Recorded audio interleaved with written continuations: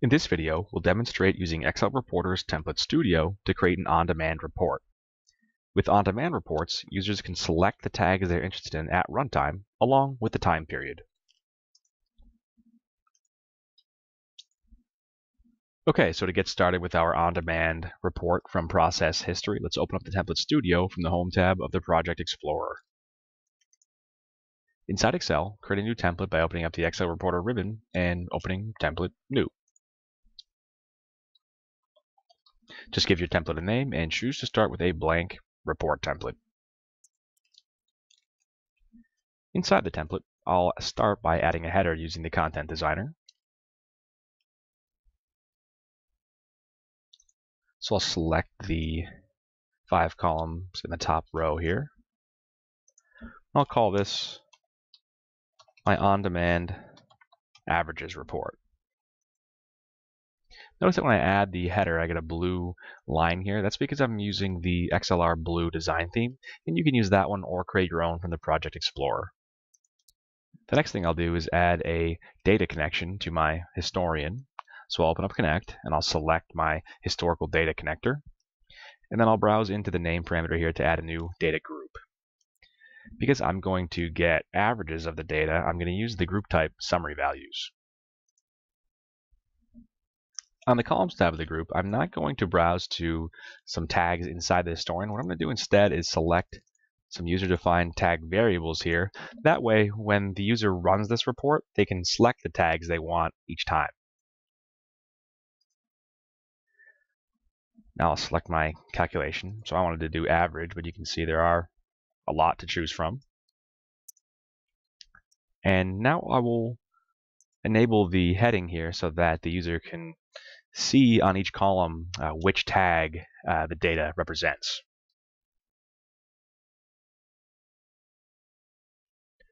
On the time period tab, in order to allow the user to set their own start and end time, I'll set the type to variable. Then for the interval, by default they'll get every one hour, but we can make that selectable too by using the interval variable.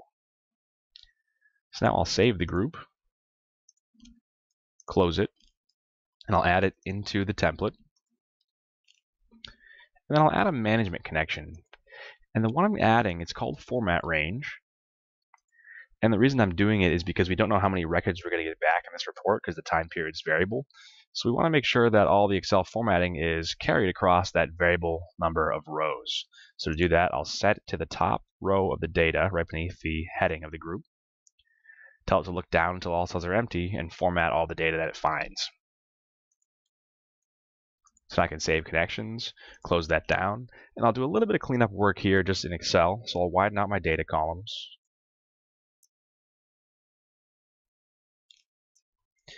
And the date time column. And then I'll set my data columns to be numbers using Excel formatting. And I'll set the date time column to be date.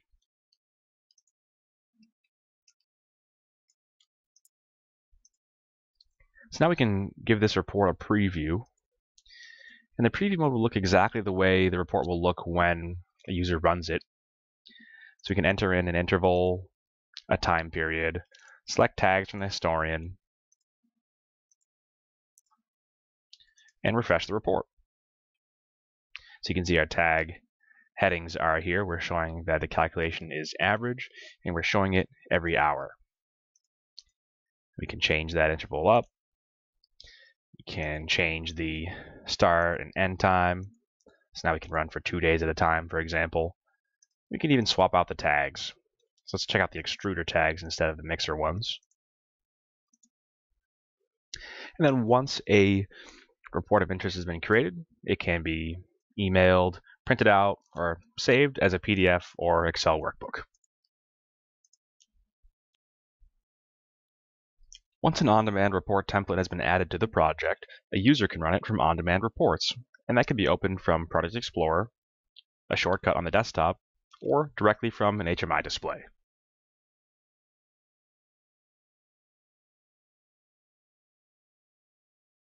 For more information, visit us online at www.sytech.com.